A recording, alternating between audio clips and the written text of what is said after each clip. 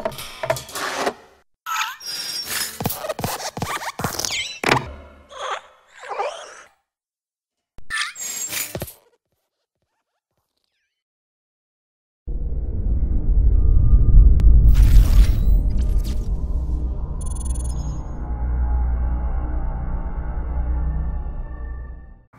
Hallo und herzlich willkommen zu einer neuen Ausgabe von Let's Play War Thunder mit Impleed und ihr seht schon hier im Bild, heute kommt die Do 335 in diesem Let's Play vor. Die Do 335 ist auch wieder so ein typischer Vertreter, der zeigt, dass das ja ein Spiel ist und nicht die Realität. Denn was macht man in einem Spiel mit einer Do 335, die in Wirklichkeit für ganz andere Sachen konstruiert worden ist, als das, was sie hier machen kann. Fangen wir erstmal mit der Geschichte der Do 335 an. Das ist nämlich auch so ein typischer Vertreter von, ist eigentlich nie so wirklich hergestellt, gebaut oder eingesetzt worden. Die Do 335 ist 1943 übrigens als schnellstes kolbengetriebenes Flugzeug entstanden. Das heißt also 43 wurde sie entwickelt und genau zu dem Zeitpunkt ihres Erstfluges war sie das schnellste kolbengetriebene Flugzeug der Welt. 1944 war das dann schon nicht mehr der Fall, wo sie in Serienproduktion, ich sage das mal ganz vorsichtig in Anführungsstrichen gegangen ist. Es wurden insgesamt gerade mal 40 Maschinen von ihr gebaut, wobei nur elf tatsächlich die eigentliche Produktionslinie darstellen. Die anderen Maschinen waren Vorserienproduktionen. Das heißt, wir sind insgesamt auf 40 Maschinen im gesamten Zweiten Weltkrieg gekommen. Der Zeitraum des Baus war 1944 bis 1945 und das Flugzeug ist niemals zum Einsatz gekommen. Eine einzige Maschine wurde tatsächlich sogar bei einem Testflug von alliierten Jagdflugzeugen abgeschossen. Zwei andere Maschinen sind auf Testflügen verloren gegangen. Da weiß man bis heute nicht, woran es gelegen hat. Vielleicht auch daran, dass sie auf alliierte Luftstreitkräfte getroffen sind. Sicher kann man das allerdings nicht sagen. Diese Maschine hatte damals gleich mehrere Innovationen.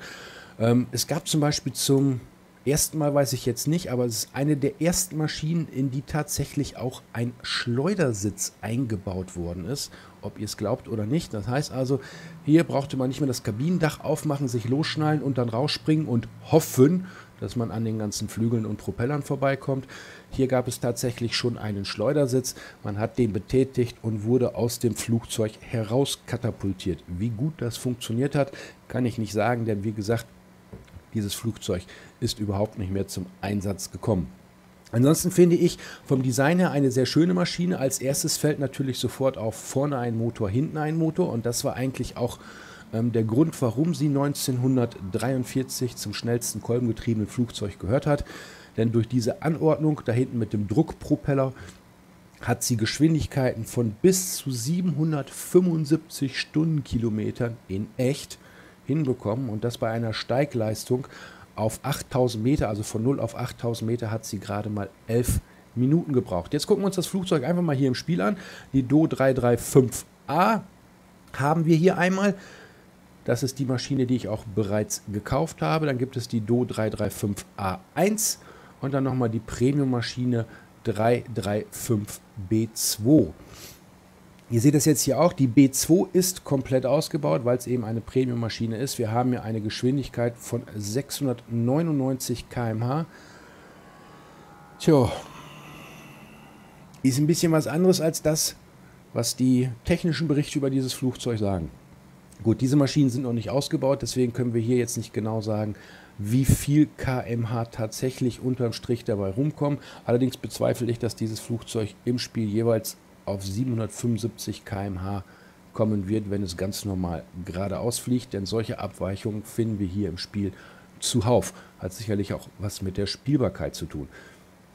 Die Bewaffnung von unserer 335 A0, die wir uns heute angucken, 30 mm Maschinenkanone, einmal, dazu 20 mm MG-Maschinenkanonen mal zwei. Das heißt, wir haben hier bei der Maschine drei fette Maschinenkanonen vorne drin, wobei die 30 mm nur 70 Schuss besitzt und die 20 mm jeweils 400 Schuss. Trotz alledem ist das schon ordentlich etwas, was die da vorne drin hat.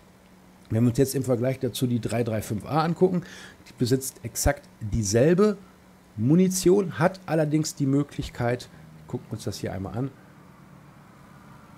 auch Bomben zuzuladen, und zwar zweimal 250 Kilogramm und einmal 500 Kilogramm. Also insgesamt eine Tonne Bomben können wir mit durch die Gegend schleppen. Reicht auf dem BR für eine halbe Base, die wir damit wegbomben können. Bringt Punkte, bringt Silverlines, bringt Geld. Und dann haben wir noch einmal die Premium-Maschine und auch da können wir uns einmal ganz kurz angucken, was los ist. Sie kann zum einen auch die eine Tonne Bombe, Bomben mit durch die Gegend schleppen und ganz besonders interessant, die Kanonen. Sie hat nämlich drei 30 mm Kanonen vorne drin mit jeweils 210 Schuss und zwei 20 mm Kanonen mit jeweils 400 Schuss. Also richtig böse von vorne ähm, bewaffnet. Trotz alledem, wenn wir uns jetzt hier einfach mal so ein bisschen den Vergleich angucken, 4880 Golden Eagles würde sie kosten, wenn man sich die dann kauft. 5-7er Flugzeug. Hier haben wir 1, 2, 3, 4 30 mm Kanonen, äh, Maschinenkanonen und zwei 20 mm Maschinenkanonen. Also sie hier ist frontal noch viel, viel stärker bewaffnet, hat allerdings nur ein Battle Rating von 4,3, kostet aber gerade mal die Hälfte. Das heißt also, wenn ihr ein Flugzeug sucht mit starker Frontbewaffnung, das relativ gut austeilt, sollte man überlegen, wo man vom Preis hin möchte. Zum halben Preis gibt es annähernd genauso viel Firepower vorne drin, wenn man auf die He 219 A7 umsteigt. Letztendlich ist es aber eine Geschmacksfrage und liegt es natürlich auch daran, was ihr mit dem Flugzeug machen wollt. Was machen wir mit dem Flugzeug? Geplant war sie ja eigentlich als schwerer Jäger, Jagdbomber, Aufklärungsflugzeug. Aufklärungsflugzeug, da wäre sie wohl in allererster Linie eingesetzt wurden. Denn zu dem Zeitpunkt, wo sie tatsächlich in Produktion ging, war sie nicht mehr die schnellste. Das heißt also, andere Jagdflugzeuge konnten sie ohne Probleme einholen. Deswegen vermute ich einfach mal, dass wenn dieses Flugzeug tatsächlich noch irgendwo ähm, in den Einsatz gekommen wäre, hätte man es zu zwei Aufgaben primär herangezogen. Zum einen natürlich Aufklärungsflugzeug, dafür wäre sie wirklich super geeignet gewesen und zum anderen wahrscheinlich auch Ground Attacker. Mit der Bewaffnung, die sie vorne drin hat, kann sie so ziemlich alles am Boden zerlegen. Panzer, was weiß ich, was da so rumkreucht und fleucht. Wenn sie dann noch ein paar Bomben dabei hat, kann sie damit sogar Bunker knacken. Im Spiel sind es natürlich auch Basen, die wir angreifen können. Ob ich sie jetzt allerdings als Jagdflugzeug gegen andere Jäger einsetzen würde, das äh, würde ich mal sagen, funktioniert nicht wirklich. Dafür ist sie einfach nicht wendig genug. Und als Bomberjäger bleibt abzuwarten, wie sie sich da darstellt. Ich habe das gar nicht erst probiert, weil die meisten Bomber, die auf dem BR rumfliegen, komplett ausgeskillt sind und da versucht man dann an die Dinge ranzukommen und hat schneller Löcher im Flügel, als man gucken kann. Deswegen habe ich mir gedacht, gut, die benutze ich jetzt einfach mal als Ground Attacker Sicherlich kann man damit auch Flugzeuge abschießen. Habe damit relativ viel Spaß gehabt und ich freue mich jetzt schon auf die Version mit Bomben unten drunter, wenn ich mir die dann irgendwann die nächsten Tage mal kaufen werde. Ihr seht das ja hier, erforscht ist sie schon lange, nur gekauft habe ich sie noch nicht. Muss ich jetzt irgendwann mal nachholen und dann werde ich da vielleicht auch noch mal ein Video machen. Wir gucken uns jetzt erstmal das Video an. Bis nachher.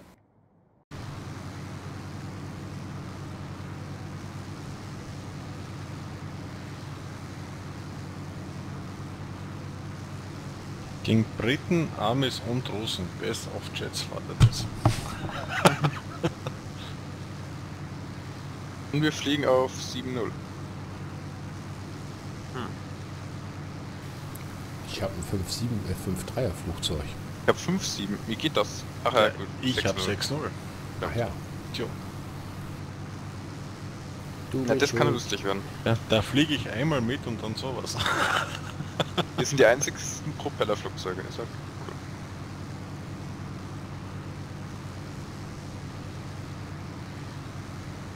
Ich ja, haben wir so sagen, Ausrede, wir, sind, wir sind die Underdogs. Ja. Mit uns rechnet keiner und das macht es dann schon wieder. Ja, wir sind die Punktelieferanten.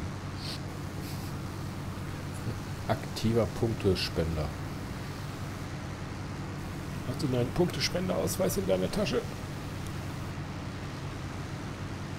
Tja, wir sind wie die Österreicher bei DM, ne? Wir sind dabei und die anderen freut's.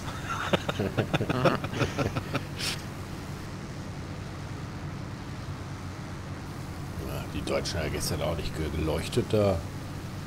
Naja. Ein kurzes Glimmen im Dunkeln zum Schluss und dann hat das den Arsch gerettet, fängt der eine da an, Hand zu spielen. Das erste, was ich gesagt habe, als ich das gesehen habe, den will ich nicht als Nachbarn.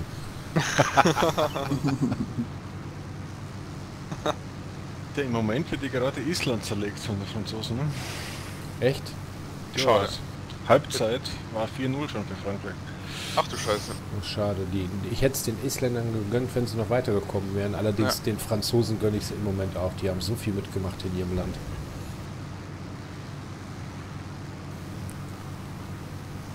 Können sich ruhig mal wieder ein bisschen freuen. Ja, am Isländer 4-0 ist schon. Naja, das für mich geilste Spiel bisher in den letzten 10, 20 Jahren, das ich gesehen habe, war Deutschland-Brasilien bei der WM. War cool. Da hat's mich hier vom Sofa gehauen. Echt, ey. Hatte meine Frau wieder wach gemacht. Ich sag, ey, hier, du musst dir das angucken. Lass mich in Ruhe. Ich sag, Brasilien. 8-0 zurück. Hör mich zu verarschen. So, aktuell steht es 15 für Frankreich.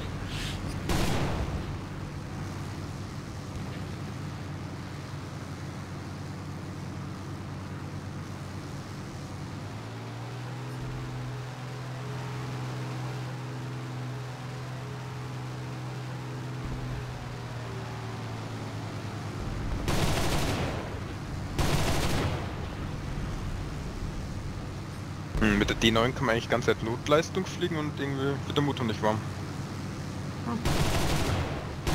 Cooles Teil. Sag das nicht zu laut, sonst hört Gaijin das und ändert das.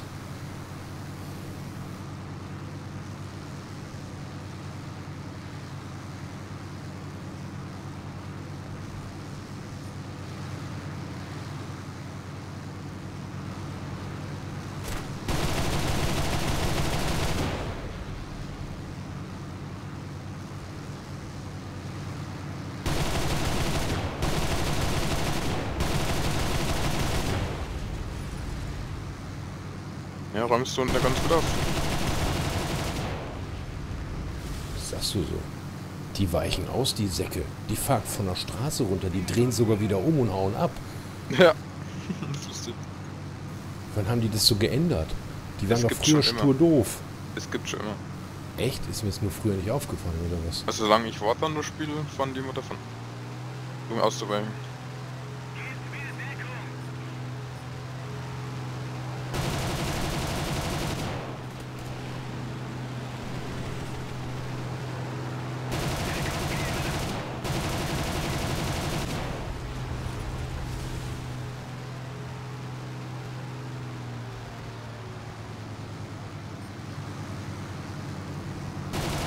Egal wie eine Spitfire ist immer höher als du. Mhm.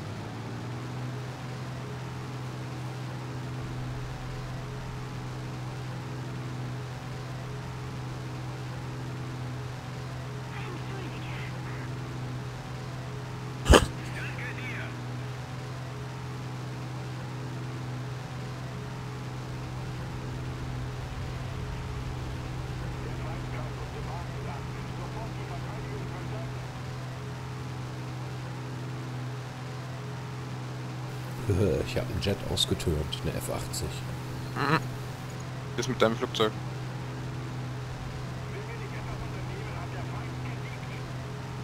Jetzt kommt sie wieder.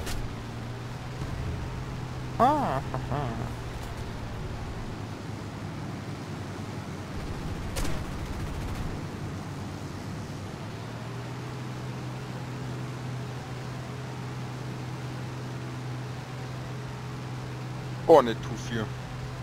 Blitzflug auf mich, okay.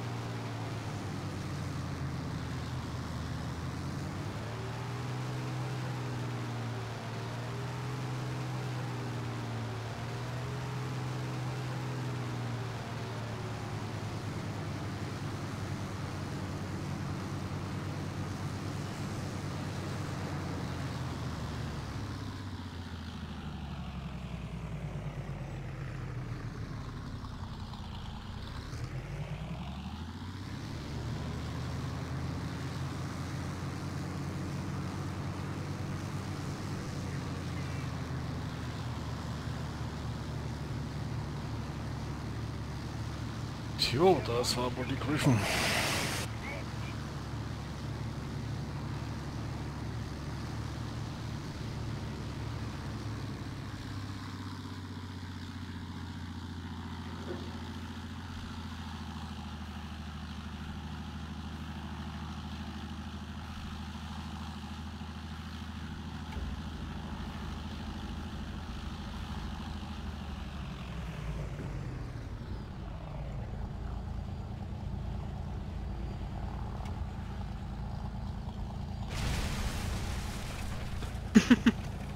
Scheiße. Zu langsam. Eine weiche Landung.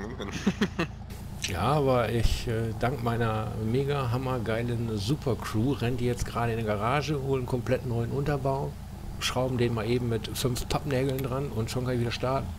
Ja, aber als B17. die falsche Crew. Ist egal, Hauptsache das Ding fliegt. Alles muss drauf sein. Ich habe mich gerade erfolgreich gegen einen Jet gewehrt. Das ist eigentlich sollte man da ein Video von machen. Implete on the Flucht.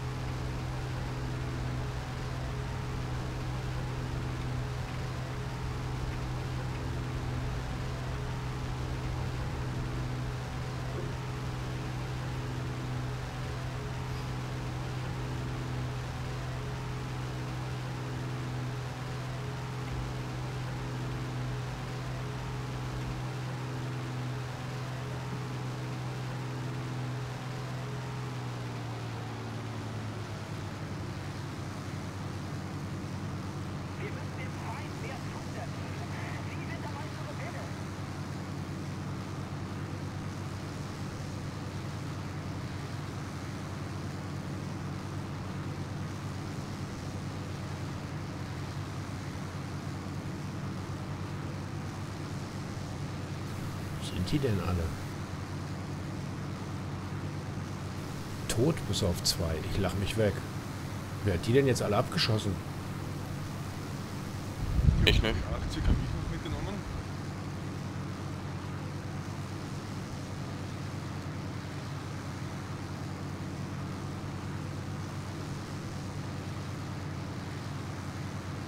Viel Spaß beim Tour 4 jagen.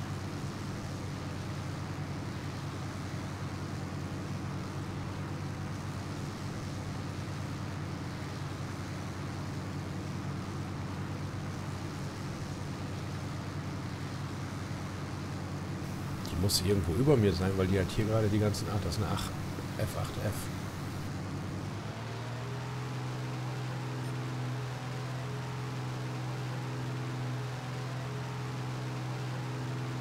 Äh, 17 ist abgeschützt.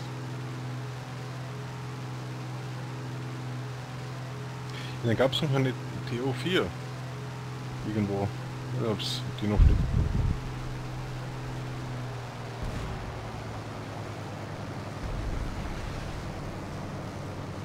Okay, die ist auch weg, ist klar. Ich hätte aber auch Angst bekommen, wenn ich mich gesehen TO4 hätte. noch. Echt? Aber die ist auf dem Rückflug, oder nicht? Keine Ahnung, ich habe noch gerade beim Schlachtprotokoll geschaut, ob der letzte irgendwas gemacht hat und das ist eine TO4. Wenn wir nicht schleunigst etwas unternehmen, dann wird der Feind den Sieg davontragen. Das ist ja der Flieger, den Darth Vader immer wollte, aber dann hat er doch noch den Todesstern bekommen, oder? Mhm, genau. Ist geil.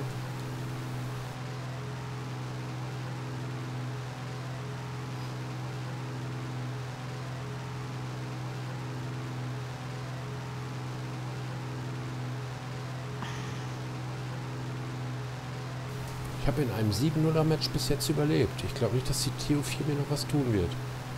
Ja, die wird hochgestuft, demnächst, oder? Die soll ich Auf glaube ich 8-0. auf 8-0, ja. Auf 8-0. Mhm. Darüber freue ich mich überhaupt nicht.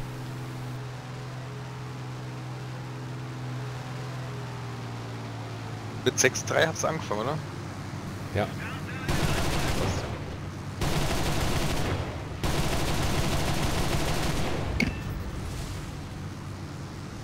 Ja, ja, Missionsentscheider.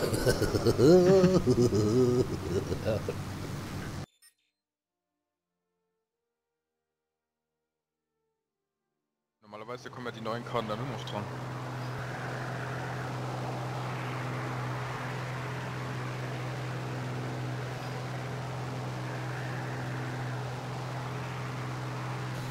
Die muss wohl kaputt sein. Keine Ahnung. Jetzt wär, sagen ja ganz viele, sie die noch nie gesehen haben.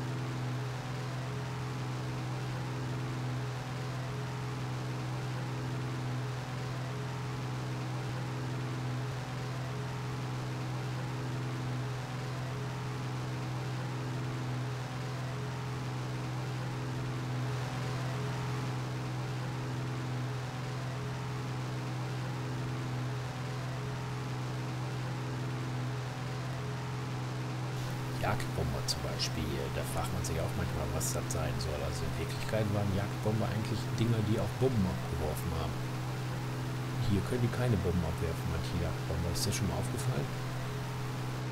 Nee, ich glaube nicht.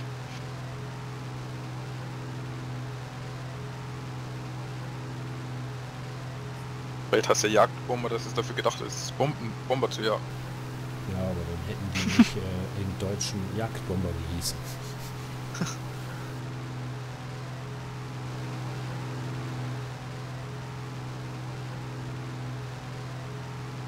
Was haben denn Jagdbomber normalerweise gemacht? Irgendwas gejagt. Ja, das waren halt so diese typischen ähm, Flugzeuge, die Bodenziele überwiegend bekämpft haben. Mit Bombern und allem drum und dran und das in einem hohen Tempo. Hm, okay. Also tief fliegende Bomber quasi.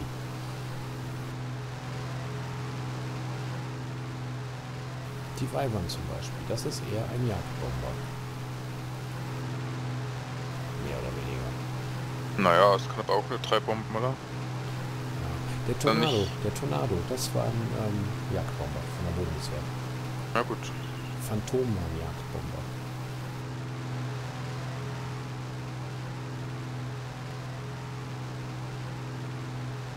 Ich glaube, damit sind Flugzeuge gemeint, die sowohl als Jagdflugzeuge als auch als Bomber eingesetzt werden können.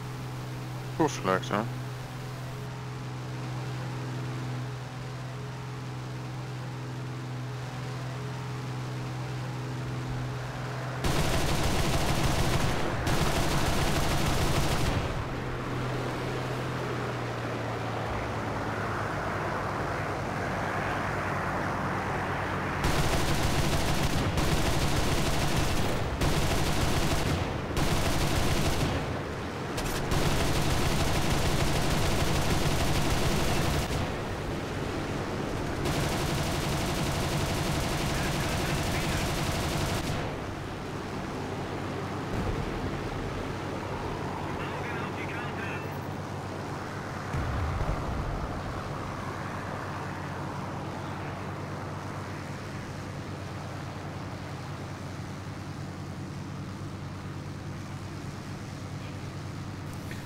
Lol, wir haben drei von denen abgeschossen, aber nur zwei Mann haben jeweils einen Kill gekriegt. Wo bitteschön, wer hat den dritten abgeschossen?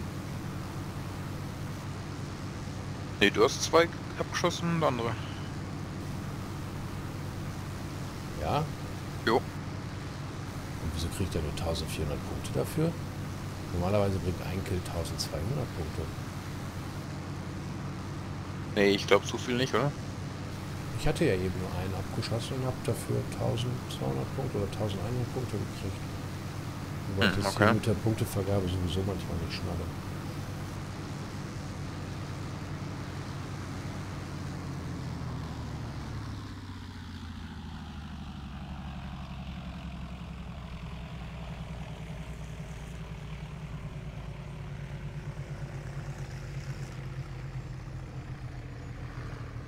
Was sie kann, ist unheimlich geil stürzen. Ne? 700 km/h, das interessiert die alle gar nicht.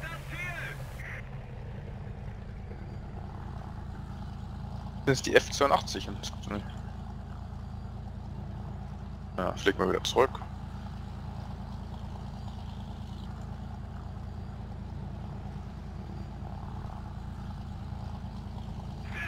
Ah, obwohl da hinten sind Landungsboote. Die überlegen wir. Das sind eh nur Spitfires auf der Pickerlist. Und sowieso jetzt die nächste Zeit wieder mehr fliegen und weniger Panzer fahren. Brauchst du wieder Geld? Nee, das nicht, aber ich habe im Moment keinen Bock mehr auf Panzer. Ganz ehrlich sagen, da ist zu viel Scheiße im Moment. ja, komm auf an, mit welchem Panzer du fährst. Ja, aber ich würde mich freuen, wenn das halt für alle Panzer gelten würde, dass das vernünftig läuft. Ich bin heute noch wieder den ähm, britischen Cromwell gefahren, hier der mit den vier Raketen. Die vier Raketen kannst du nicht gebrauchen. Das ist auch nicht weiter i- wichtig. Für mich ist vielmehr wichtig die Munition von den Dingern. Ne? Du musst mit so einem Teil vier, fünf Mal in den Gegner reinballern, damit er auseinanderfällt und die Gegner schießen immer nur mit einem einzigen Schuss zurück. Das ist sowas von unausgewogen hier in diesem Spiel. Und dann die ganzen Idioten, Entschuldigung, mit, mit denen du teilweise hier gematcht wirst, ne? die wirklich im RB mittlerweile fahren, als wäre es Arcade, sich da instant in den ersten fünf Minuten wegballern lassen. Da kommen ja fast keine vernünftigen Matches mehr zustande. Ne? Ja. Natürlich könnte ich den ganzen Tag Spaß haben, wenn ich mit meinem Tiger 2 durch die Gegend fahre, aber dafür gibt es hier ja nicht Content, ne? Ja. Also die AP-Munition von den Amerikanern und Briten, da müssen die was dran machen, das kann so nicht richtig sein. Bei den Briten geht's glaube ich noch, aber bei den Amis ist er grauenhaft. Ich dachte auch, dass es bei den Briten noch geht, aber jetzt, wo ich bin ja auch früher ganz gerne den Cromwell gefahren, ich habe da ja auch ein paar Videos mitgemacht, auch unter anderem, wie ich da mit 5-7er gejagt habe und sowas. Das Ja, Cromwell mag ich auch, richtig. Im Moment habe ich den Eindruck, dass selbst die AP-Munition von den Dingern mittlerweile so Haben sie die wieder genervt? Ja, ja. Das Ah. ist fast wie auf US-Niveau. Überall. Ich habe heute auf Berlin war das einen äh, KV 1 von der Seite gepackt. Und ich habe den in den Turm und in die Wanne direkt 90 Grad. Sechs Ja. oder sieben Mal reingeballert, bis ich den endlich Schrott hatte.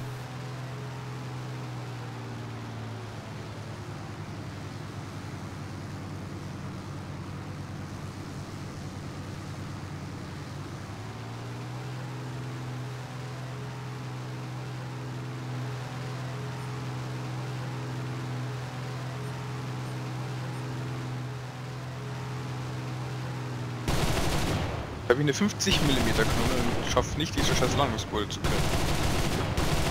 Nicht sowas.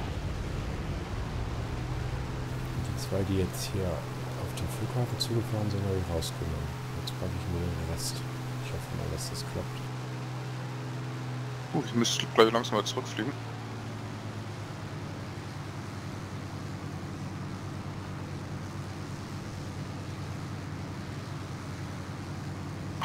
Mehr auf die Scheiße, ich flieg zurück. Ich würde dich gerade unterstützen. Ich würde da lieber weggehen, da sind überall die Schiffe, die mit Flak auf dich schießen. Ja. Mich demoliert. Warten wir einfach, bis die Landungsboote in die Nähe kommen.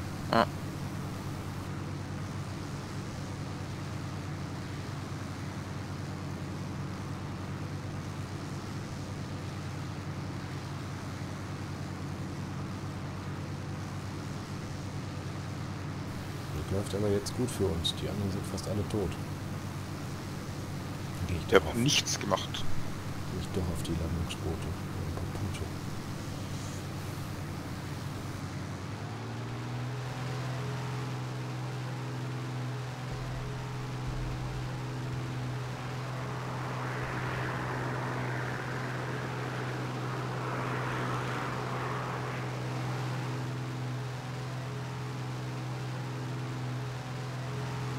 Lange die doch hinter dir her schießen hier, die Zerstörer. Das ist ja der Hit. Uch, das ist schon die Landebahn.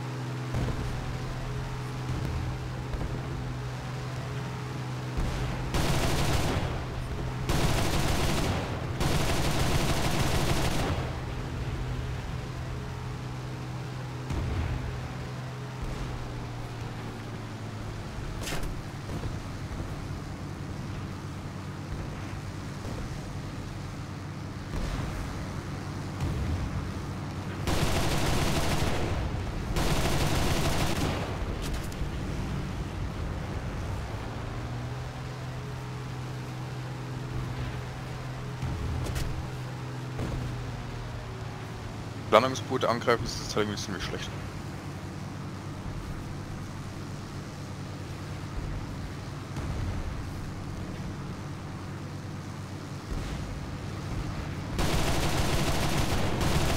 Ah, ist noch Echo geworden.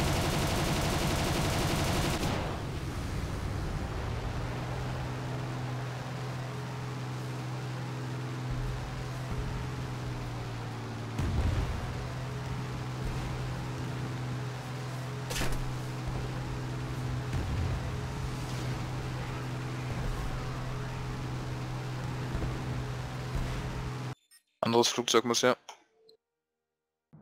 So, da sind wir wieder. Ihr habt die beiden Matches gesehen. Ich fand es eigentlich spaßig. Mir hat das Flugzeug Spaß gemacht. Ich habe mich allerdings auch auf die Stärken konzentriert, die ich bei ihr tatsächlich gesehen habe. Ähm, ich bin hin und wieder auch mal mit äh, Kollegen von CPOC geflogen, die dann auch die Do 335 mitgenommen haben. Die haben damit natürlich andere Sachen probiert. Vornehmlich haben sie versucht, Flugzeuge damit zu jagen. Das hat nicht so wunderbar funktioniert und relativ schnell hatten die den Kaffee auf. Und da kann ich nur immer wieder euch allen empfehlen, versucht die Flugzeuge so einzusetzen, wie es im Spiel am meisten Sinn macht, wo ihr am meisten mit Erfolg habt. Wenn ihr mit dem Einsatz als Ground Attacker Erfolg habt, dann bringt euch das auch was. Es bringt euch Silverlines, ihr könnt das Flugzeug ausbauen und ihr könnt andere Maschinen erforschen, weil ihr eben Erfolg habt. Wenn ihr das Flugzeug als Jagdflugzeug einsetzt, es aber gar nicht könnt, es gibt natürlich auch Spiele, die sowas können, aber es gar nicht könnt, dann werdet ihr relativ schnell gefrustet sein, weil ihr keinen Erfolg habt. Das heißt, ihr bekommt eure Module nur schleppend ausgebaut, ihr bekommt keine Silverlines zusammen und eure anderen Forschungsprojekte kommen natürlich auch nicht voran. Also hier einfach mal so eine Empfehlung von meiner Seite und das gilt für sämtliche Flugzeuge hier im Spiel. Setzt die Flugzeuge so ein, wie ihr damit am besten klarkommt. Und wenn ihr wirklich Flugzeuge habt, mit denen ihr überhaupt nicht klarkommt, davon habe ich auch eine ganze Menge Flugzeuge, dann versuche ich immer das Einfachste mit dem Flugzeug zu machen, nämlich Bodenziele kaputt zu machen. Das funktioniert oft sehr, sehr gut. Man hat fast in jedem Match auch irgendwo Erfolgserlebnisse und kommt trotzdem voran. Das einfach nur mal so von meiner Seite. Eventuell habe ich heute mal wieder das eine oder andere erzählt, was ihr ganz anders seht. Das ist ganz natürlich. Ich kann mich auch nur schlau machen und so ein bisschen einschätzen. Ich bin auch jetzt nicht der erfahrenste Pilot, das wisst ihr selbst. Ich gucke immer, was kann ich als Anfänger am besten mit so einem Flugzeug anstellen. Wenn ihr andere Tipps habt, andere Einsatzmöglichkeiten, dann schreibt es unten in die Kommentare. Die anderen Leute lesen das ja auch und vielleicht habt ihr ja auch ein paar Tipps dabei, die wiederum anderen Lesern weiterhelfen als das, was ich jetzt hier erzählt habe. Ich hoffe, euch hat das Video gefallen und wenn ihr weiterhin Let's Play-Wünsche habt, schreibt es unten in die Kommentare. Anregungen, Ideen, einfach alles unten in die Kommentare. Wichtig ist, dass ihr das Video liked, wenn es euch gefallen hat. Ich würde mich freuen, wenn ihr beim nächsten Mal wieder mit dabei seid. Tschüss, euer Implied.